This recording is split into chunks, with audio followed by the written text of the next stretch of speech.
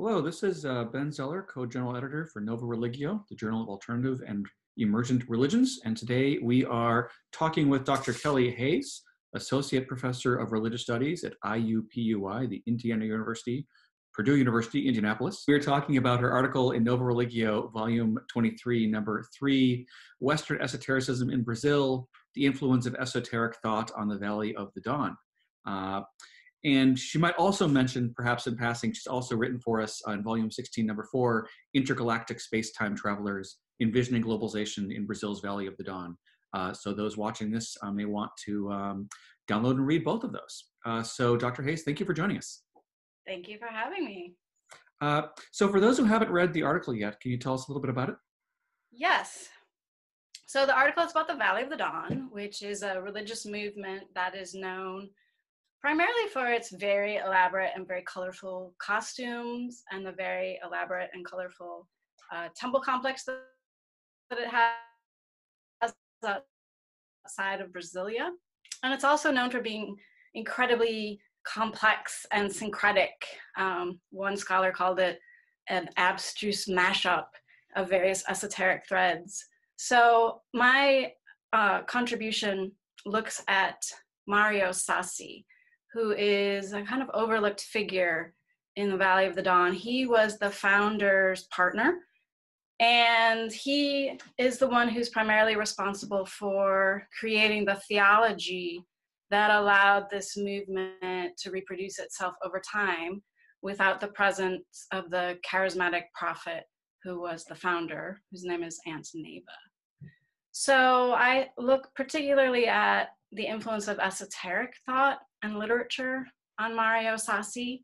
And in my research, there's not a whole lot written about the Valley of the Dawn in English, but there is a fair amount of research on it in Portuguese.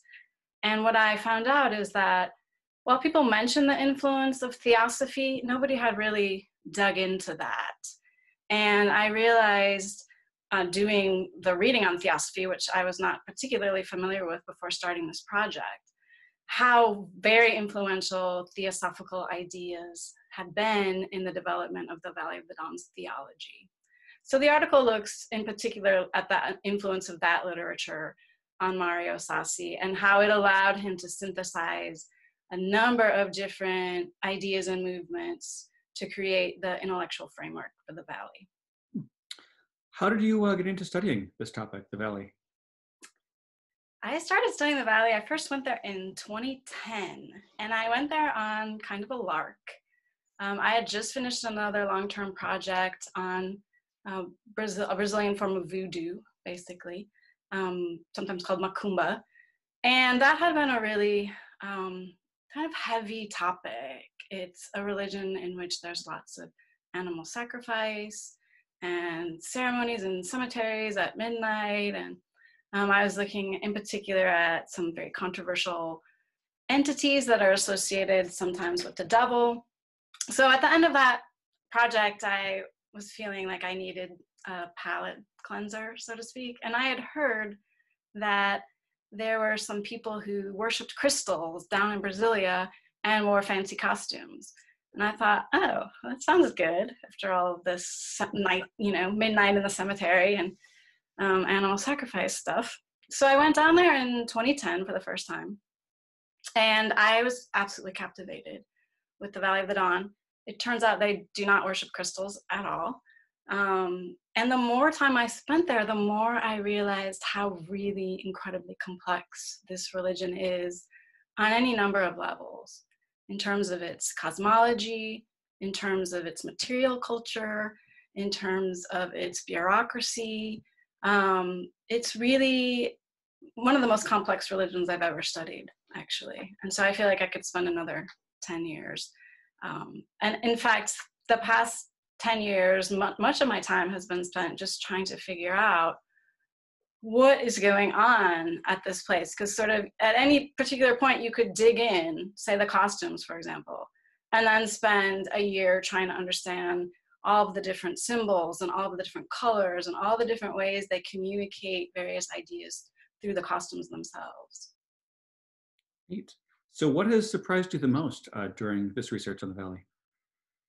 I think the complexity has surprised me the most. Um, I've really come to appreciate how the Valley of the Dawn works on a number of different levels for different people.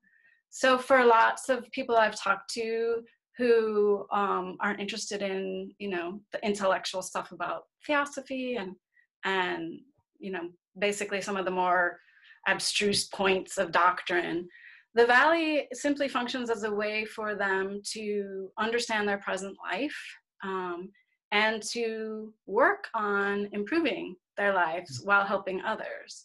And so Valley members consider themselves Christian. They have a very esoteric understanding of Christianity that focuses mostly on Jesus um, as an evolved spirit. And so for, you know, people who are just interested in having an, an explication for why they're suffering in this life and what they can do about it, the Valley works on that level. But for people who are interested in complex issues related to doctrine and theology, you know, they could spend a lifetime um, gnawing on some of the knots uh, in the Valley's theology. And so I also have come to appreciate, I think, that um, people like to dress up. And in the Catholic Church, for example, it's only clerics that can dress up, it's only the elite. And at the Valley of the Dawn, everyone can. And there's something really powerful in that, um, really powerful in putting on this garment that um, allows you to step outside of your everyday reality and experience something different. What would you say are the uh, most important sort of big picture ideas that have come out of your uh, your work on the Valley? Um, I've been thinking about that question actually. I, I mean, I think for the article, um, the present article on Mario Sassi's contributions, I realized uh, that we could talk about the Valley of the Dawn as an example of Western esotericism. Mm-hmm. So that whole literature on Western esotericism doesn't talk about South America uh, or Brazil at all.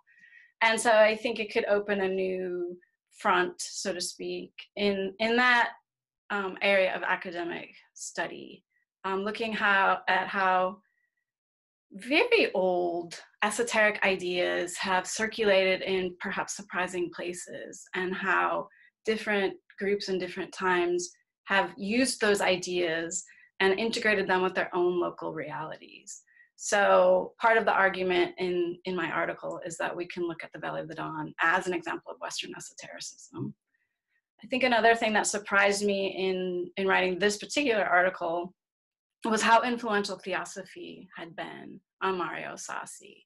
I didn't find any evidence that he read um, Blavatsky, for example. I think his exposure to theosophy was mediated through some other literature, but he's definitely drawing on concepts like root races mm-hmm. and the masters of wisdom and sort of reinterpreting them and placing them in this other narrative that involves extraterrestrials uh, and that also involves Brazil as sort of a, a privileged spot. Makes sense. So this article just came out in our February 2020 issue, um, but I know we've been working on it for a while. So are there any updates that didn't make it into it, that uh, late breaking um, uh, updates? You know, there, there, really haven't. I feel like I really exhausted uh, the whole Mario Sassi angle. I was fortunate enough to interview two of his surviving children, mm-hmm. which gave me a whole new perspective and I came to realize that if you read the English language work, but also the Portuguese language work on the Valley of the Dawn, all of it focuses on Aunt Neiva, who is the founder, mm-hmm. who was a charismatic, definitely visionary figure, um, and certainly critical for the movement. But I have come to think that Mario Sassi was also very important, and that the movement would not have survived her death and maybe wouldn't have even grown as big as it did during her lifetime without his contributions. Uh, so I think, if anything, um, that sort of corrects our understanding of how the valley was has been able to reproduce itself and perpetuate itself and grow. And in fact, it's an international religious movement today with temples all over the world, including the United States. Makes sense. As, as, someone who's also studied a group with two founders, one of whom is usually ignored, I, I completely get it. Yeah, yeah. necessary corrective. Well, um, and also I think you know it's it fits a, pat, a standard pattern, right? Of sort of a charismatic woman founder who relies on a man, on a sort of male intellectual systematizer kind of figure, um, which seems to be the case for Heaven's Gate, yeah, yeah. right? But also a number of other different movements. Yeah. So, for people who are interested in kind of the history of how new religious movements emerge and reproduce through time, I think it's interesting to note that pattern. Yeah, that's really important. Uh, the way in which women's leadership is sort of intersects with with gender norms within the, the host society and what the expectations of members and, and potential members. Yeah, absolutely. Um, so, uh, what are you working on now? I, this is part of a book length project, right? It is, yeah. So, I am finishing my book, which is going to come out with Oxford University Press on the Valley of the Dawn, and I'm really excited about it. Uh, I struggled for quite a while for how to write about this complex religious movement, like what angle I wanted to take on it. And the, the structure I finally came up with looks at different aspects of the Valley of the Dawn's material culture through the stories of key people in the movement. So Aunt Neiva, of course, Mario Sassi, of course, mm-hmm. but also the artist who's been principally responsible for the iconography of the mm-hmm. Valley of the Dawn, mm-hmm. one of Aunt Neiva's daughters, who mm-hmm. was the first seamstress, who was responsible for creating the costumes and who still is still alive and who still is very concerned with maintaining the standards for the different costumes and the symbols, um, but also looking at people who come to get healed. Mm-hmm. So talking about their stories. So this structure sort of lets me talk about, um, give a, uh, what I think about as like a 360 degree view of this religion and its various facets, but also how it has changed over time what it was like during um, the years of its founding um, and how that has changed. It reminds me of the way that Karen McCarthy Brown structured her Mama Lola, which I found one of the most engaging ways that, that, that she wrote it, the way you get to know the, the individuals as an entrance into their sort of their lived experience. Yes, absolutely. I was also really inspired by George Packer's book, mm-hmm. The Unwinding, mm-hmm. which again is trying to treat this very complex phenomenon, um, really of the decline, right, of the American dream, if I can oversimplify it. But through these the stories of various people, where you can really see, right, how this big thing that's so hard to wrap your brain around is operating at the micro level in different people's lives. So it's been a really challenging project. It's been a really fun project. Um, it's been a project that I feel like writing it has been a puzzle, so it's not been straightforward. Um, I, have been writing in little chunks and um, you know rearranging them and putting them in different places because the the how you control the flow of information I think is important because one can very quickly become overwhelmed by the Valley of the Dawn, as many people are. Well, great. Well, thank you so much, Dr. Kelly Hayes, for speaking with us at Nova Religio. Thank you so much for having me.